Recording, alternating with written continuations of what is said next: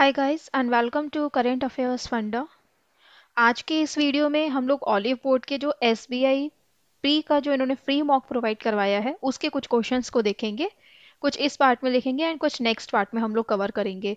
और इसके बाद मैं कोशिश करने वाली हूँ कि एक कंप्लीट सीरीज़ आपके लिए एस के लिए लेकर आया जाए, जिसमें आपका हर टाइप का puzzle easy to moderate level solve कराया जाए प्लस आपके जो वेरियस टॉपिक हैं मिसलेनियस मिसलेनियस यानी कि जिसमें आपका स्लॉक्स हो गया ब्लड रिलेशन हो गया अल्फ़ा न्यूमेरिक सीरीज़ हो गई, उस पर पर्टिकुलर सेशंस आए, ऐसे मैं कोशिश करने वाली हूँ। तो अभी तो हम ये देख लेते हैं, इसके बाद फिर हम लोग उन पर भी वर्क करेंगे, जैसे भी आप लोग सजेस्ट करेंगे, उसके अकॉर्डिंग ओके तो आप लोग अपना सजेशन कमेंट सेक्शन में दे सकते हैं कि आप लोगों को पर्टिकुलर टॉपिक पर वीडियोस चाहिए या फिर हम लोग ऐसे ही छोटे छोटे जैसे कि मॉक की तरह सॉल्व करते हैं यहाँ पर अलग अलग टाइप के क्वेश्चंस जैसे कि पजल हो गया, कुछ मिसलेनियस साथ में, ऐसे ही हम लोग प्रैक्टिस करें okay so let's start and uh, आज के क्वेश्चंस मैंने ऑलिव बोर्ड से लिए हैं तो ऐसे ही क्वेश्चंस की प्रैक्टिस के लिए आप लोग इनकी टेस्ट सीरीज़ को विज़िट कर सकते हैं। साथ ही इनकी जो टेस्ट uh, सीरीज़ है उसको फॉलो सॉरी um, इनकी वेबसाइट को विज़िट कर सकते हैं एंड साथ ही इनकी टेस्ट सीरीज़ को भी फॉलो कर सकते हैं जिसका लिंक आपको डिस्क्रिप्शन बॉक्स में मिल जाएगा। So let's start okay question छोटा सा है और छोटे छोटे क्वेश्चंस ही आते हैं। एसबीआई आपके लिए बहुत ही अच्छी अपॉर्चुनिटी है क्योंकि यहाँ पर आपको पता है सेक्शनल कट ऑफ़ नहीं है। अगर आप किसी दो सेक्शन में भी बहुत अच्छे हो, ठीक, दो में तो होते ही हैं। एक तो आपका स्ट्रॉन्ग होता ही है और एक एवरेज से ऊपर होता है, सबका होता है, ठीक। किसी की इंग्लिश किसी की मैथ्स और किसी की रीजनिंग है ना? तो अगर आप कोई दो सेक्शन में अच्छा स्कोर कर लेते हो तो आप प्रीलिम्स की कट ऑफ़ बहुत आराम से निकाल सकते हो। लास्ट टाइम प्रीलिम्स की कट ऑफ़ आई थिंक 71 गई थी 70 71 तो इतना ही एक्सपेक्ट करके चलो और कोशिश करो कि किन्हीं दो से आप करीबन 60 62 खींच लो तो आपका जो जो भी अगर कोई सेक्शन ऐसा है जिसमें आप ज़्यादा स्कोर नहीं कर पाते हो तो उसका रोल इसमें ज़्यादा नहीं भी रहेगा, तब भी चल जाएगा, ठीक? क्योंकि यहाँ पर ओवरऑल होता है सेक्शनल नहीं होता है। ये बहुत ही अच्छी बात है, ठीक? तो देखते हैं यहाँ पे क्या गिवन है। Eight people were posted in Indian Army at different designations तो यहाँ पर आपके जो एट पर्सन है, उनको पोस्ट करा गया है इंडियन आर्मी में और डिफरेंट उनकी पोस्ट है, ठीक है? डिफरेंट रैंक है उनकी। The designations in decreasing order is as general brigadier colonel lieutenant colonel major captain subedar and havildar where general is the highest designation and okay okay, uh, यहाँ पर क्या है? आपका जनरल जो है वो हाईएस्ट डेजिनेशन है प्लस ये कैसे लिखे हैं? डिक्रीजिंग ऑर्डर में लिखे हैं यानी कि सबसे टॉप पर जो है वो कौन आएगा? आपका जनरल आएगा ठीक? फिर ब्रिगेडर आएगा देन आपका कर्नल फिर लेफ्टिनेंट कर्नल उसके बाद मेजर देन कैप्टन फिर subedar and last Havaldar. Okay, 1, 2, 3, 4, 5, 6, 7 and 8, right? आगे क्या कह रहे हैं Q was senior to R but was immediate junior to N. देखो जब भी कह रहे हैं सीनियर टू आर तो सीनियर का मतलब क्या हो गया क्यू जो है वो ऊपर की ओर जाएगा बिकॉज़ यहाँ पर जो हमने ऑर्डर लगाया है उसमें सीनियर से जूनियर की ओर बढ़ रहे हैं। सीनियर वाले ऊपर रखे गए हैं जूनियर वाले नीचे रखे गए हैं राइट तो यहाँ पर आप देखोगे कि क्यू जो है वो सीनियर है, यानी कि क्यू जो है वो कैसा रहेगा? कहीं आर से ऊपर रहेगा, ठीक है? But but was immediate junior to and तो क्यू जो है वो सीनियर है आर से, लेकिन इमीडिएट जूनियर है किससे? एन से। तो यहाँ पर जो लेकिन है, उसका यूज़ किसके लिए करा गया है? क्यू के लिए। तो क्यू जो है, वो इमीडिएट जूनियर है किससे? एन से, यानी कि एन जो है, इसके जस्ट ऊपर आएगा। राइट ये जूनियर है, यानी कि क्यू नीचे आएगा। फिर इसके बाद कह रहे हैं M was designated as lieutenant colonel and was just senior to R तो यहाँ पे ये कह रहे हैं एम जो है वो उसका डेजिनेशन क्या है? लेफ्टिनेंट कर्नल तो यहाँ पर आपका एम आ जाएगा और ये जस्ट सीनियर है आर से। जस्ट सीनियर यानी कि जस्ट एक रैंक ऊपर है आर से, यानी कि आर कौन होगा? मेजर होगा, है ना? अब इसमें देखो वैसे तो आप लोग आगे पढ़ सकते हो, लेकिन मैं यहाँ पर आपको एक चीज़ बता रही हूँ, खाली ये एक्सप्लेन कर रही हूँ। ठीक? अब जैसे कि यहाँ पर आर हो गया एम आ गया। अब आपको पता है आर के ऊपर क्यू जाना है, ठीक? तो पहली पॉसिबिलिटी क्या हो सकती है क्यू यहाँ पर और एन यहाँ पर? दूसरी पॉसिबिलिटी क्या हो सकती है? क्यू यहाँ पर या फिर एन यहाँ पर? ये सिर्फ़ मैंने आपको बताया है पॉसिबिलिटी के बारे में, ठीक है? आप इसको नहीं बनाएँगे, अभी ऐसे ही लिखे रहने देंगे। ये ज़्यादा बेहतर है क्योंकि छोटा सा क्वेश्चन है पॉसिबिलिटी बनाने की ज़रूरत नहीं है, ऐसी घट हो सकता है ये, है ना? आगे देखेंगे तो एम वॉज़ डेज़ सॉरी ये हो गया। S is senior to T S जो है वो सीनियर है टी से तो यानी कि एस जो है वो कैसा आएगा? टी के ऊपर की ओर कहीं आएगा। Three people were junior to Q but senior to P अब तीन पीपल जो है वो ऐसे हैं जो कि क्यू से कैसे हैं? जूनियर है, लेकिन पी से कैसे हैं? सीनियर है।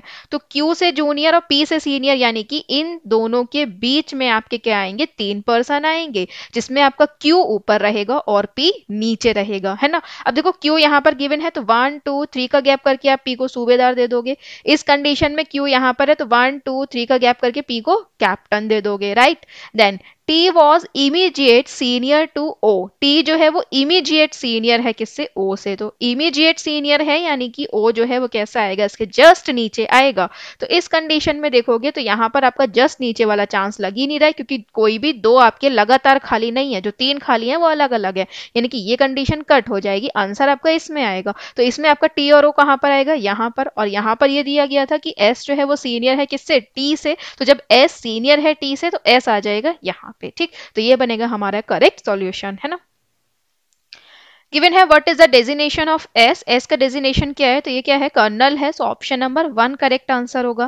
Then how many people were junior to O O से कितने परसेंट जूनियर हैं? तो ओ से कितने परसेंट जूनियर है? एक भी नहीं है तो आंसर क्या होगा? ज़ीरो कई बार यहाँ पर आपको क्या मिलता है? None how many people were senior to P P से कितने पर्सन जो है वो सीनियर हैं? तो देखो, आठ पर्सन है, तीन तो ये होगा, यानी कि पाँच सीनियर होंगे, या फिर काउंट भी कर सकते हो one two three four and five ठीक? So five option number five If all the people are designated in alphabetical order from higher designation to lower designation, then how many people the designation remains unchanged? तो यहाँ पर इनको क्या करना है आपको higher से लोअर की ओर अल्फाबेटिकल ऑर्डर में चलना है लाइक like पी हो गया फिर क्यू आ जाएगा R S T I M sorry M N O M B आएगा M N O P sorry इसको हटा देते हैं एम से स्टार्ट है M N O P Q R S and T okay तो कितने परसेंट की जो डेजिनेशन है वो सेम है? तो देखो आई थिंक यहाँ पर तो मुझे कोई भी सेम दिखाई नहीं दे रहा है है ना? तो कोई भी सेम दिखाई नहीं दे रहा है तो option number four correct answer होगा यहाँ पे ज़ीरो चलिए, इसका आंसर आप लोग मुझे कमेंट सेक्शन में दीजिए कि number of people junior to Q is same as the number of people senior to to मतलब पोजीशन सेम होनी चाहिए अपर एंड लोअर से। नेक्स्ट क्वेश्चन देखते हैं। एक बार खुद से अटेम्प्ट करिए इस क्वेश्चन को। देखिए certain number of person are sitting in linear row facing south तो यहाँ पर सर्टन नंबर ऑफ़ पर्सन बैठे हैं, जो कि आपका लीनियर रो में है और साउथ की ओर फेस कर रहे हैं। Information about only some of them is known not more than twenty three person were sitting in row तो यहाँ पर ये कह रहे हैं कि आपके कुछ पर्सन रो में बैठे हैं साउथ की ओर फेस कर रहे हैं मतलब आपका लेफ़्ट साइड लेफ़्ट एंड जो है वो इधर होगा राइट एंड इधर होगा, इस चीज़ को आप ध्यान रखेंगे। इन्फॉर्मेशन कुछ के बारे में दी गई है और ट्वेंटी थ्री से ज़्यादा पर्सन जो है वो रो में नहीं बैठेंगे, है ना? गिवन है four person sit between B and D B और डी के बीच में चार पर्सन आएँगे तो अगर बी यहाँ पर आ रहा है तो वन टू थ्री फोर का गैप करके आपका डी यहाँ पर आ जाएगा। या फिर अगर डी यहाँ पर आ रहा है तो वन टू थ्री फोर का गैप करके बी यहाँ पर आ जाएगा, ठीक है? Then A sit second to the left of C and third to the right of B तो ए जो है, वो सेकेंड टू द लेफ़्ट है सी के और थर्ड टू द राइट है बी के। और बी हमारा फिक्स है तो हम बी के राइट में ए को ले जाते हैं। ध्यान रखना साउथ फेस कर रहे हैं तो वन टू थ्री ए यहाँ पर और इस कंडीशन में वन टू थ्री ए यहाँ पर। ठीक थर्ड टू द राइट में आ गया। प्लस इसको सेकेंड टू द लेफ़्ट में देना है सी के। तो सेकेंड टू द लेफ़्ट में देना है सी के तो यहाँ पर देखोगे इस कंडीशन में तो सी यहाँ आना चाहिए था, तभी तो सेकेंड टू द लेफ़्ट में ए होता सी के। लेकिन ऐसा हो नहीं सकता तो इसका मतलब सी जो है वो कहाँ पर आएगा? यहाँ पर आएगा, ये कंडीशन कट हो जाएगी। फिर F sits to the immediate left of E F जो है वो इमीजिएट लेफ़्ट है ई e के, इसको भी हम लिख लेते हैं, क्योंकि ना हमारा एफ़ फिक्स है और ना ही E e. Then G sits exactly in between B and F G जो है वो एग्जैक्टली exactly बीच में है बी और एफ़ के। Then the number of person who sit to the left of E is 2 more than the number of person who sits to the right of C. तो C के right right side में जितने person हैं, वो equal नहीं है sorry यहाँ पे ये कह रहे हैं कि number of person who sit to the left of E is two more than ठीक मतलब ई e की लेफ़्ट में जो है, वो सी से दो ज़्यादा है मतलब सी की राइट में अगर आप प्लस टू कर दो तो वो इक्वल हो जाएगा ई e के लेफ़्ट के, ठीक, क्योंकि दो ज़्यादा है then the number of person sitting between C and D is same as the number of person sit person who sit to the left of D तो जितने पर्सन आपका सी और डी के कैसे बैठे हैं, बीच में बैठे हैं, उतना ही आपका डी की लेफ़्ट में होंगे। तो सी एंड डी के बीच में कितने पर्सन है यहाँ पे? One two three four five six seven eight nine nine है। तो यानी कि यहाँ पर डी की लेफ़्ट में नाइन पर्सन आएँगे। तो one two three four five six seven eight and nine ठीक, अब ये हो गया आपका एंड राइट ठीक है, ये हो गया। अब देखते हैं इसके अलावा। अब यहाँ पर क्या कहा गया था कि the number of person sit to the left of E is two more than the number of person who sit to the right of C तो अब यहाँ पे देखो सी की राइट में कितने पर्सन आ रहे हैं? अभी एक भी पर्सन नहीं है सी की राइट में, ठीक? तो जब एक भी पर्सन नहीं है तो इसमें दो को ऐड कर दो तो ई e की लेफ़्ट में दो पर्सन आएँगे। तो दो पर्सन आएँगे तो वन एंड टू का गैप करोगे तो ई e यहाँ पर आएगा। और जैसे ही ई e यहाँ पर आएगा तो आपको पता है ई e की लेफ़्ट में एफ़ है, यानी कि ई e की लेफ़्ट में एफ़ यहाँ पर आ जाएगा। लेफ़्ट साइड कैसे? साउथ फेस कर रहे हैं ना तो ई e की लेफ़्ट में एफ़ यहाँ पर आएगा। तो आप देखो क्या बी और एफ़ के एग्जैक्टली बीच में क्या आप जी को बैठा सकते हैं? तो one one two three four five six seven eight nine ten eleven and twelve आप एग्जैक्टली exactly बीच में नहीं बैठा सकते। क्यों? क्योंकि जब भी आप एग्जैक्टली exactly बीच में किसी पर्सन को बैठालना होता है, जिन दो पर्सन के बीच में आप किसी एक को एग्जैक्टली exactly बीच में बैठालते हो तो उनके बीच की जो सीट्स होती है, वो ऑड नंबर में होनी चाहिए। तभी तो एग्जैक्टली exactly बीच में आएगा। दोनों तरफ़ से जो सीट्स है, वो सेम रहेंगी। लेकिन यहाँ पर जब ईवन नंबर आ रहा है, यानी कि आप एग्जैक्टली बीच में नहीं बैठा सकते। इसका मतलब ई e यहाँ पर और एफ़ यहाँ पे नहीं आएगा और सी की राइट साइड में ज़ीरो सीट नहीं होगी। यानी कि एक बढ़ा देते हैं यहाँ पे। अब हमने जब एक सीट बढ़ा दी तो आप को क्या पता चल गया कि ई e की लेफ़्ट में अब तीन सीट होंगी, क्योंकि प्लस टू है ई e की लेफ़्ट में, है ना? तो सी की राइट में सी एक है तो इसमें प्लस टू तीन ई e की लेफ़्ट में तीन होंगी तो वन टू थ्री ई की लेफ़्ट यहाँ पर ई e की लेफ़्ट में तीन सीट होंगी। और यहाँ पर ई e की इमीडिएट लेफ़्ट में एफ़ आएगा तो एफ़ आ जाएगा यहाँ पे, है ना?